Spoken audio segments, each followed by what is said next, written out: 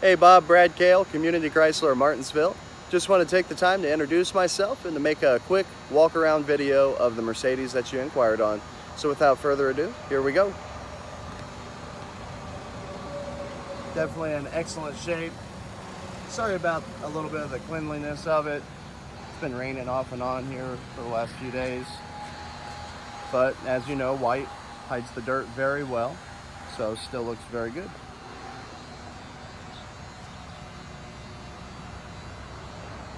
The whole vehicle's condition is excellent. I really don't see the any flaws or blemishes here to speak of.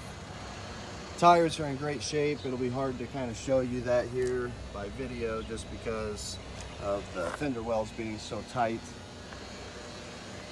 You'll just have to take my word for it. Moving along to the front of the vehicle here, going inside.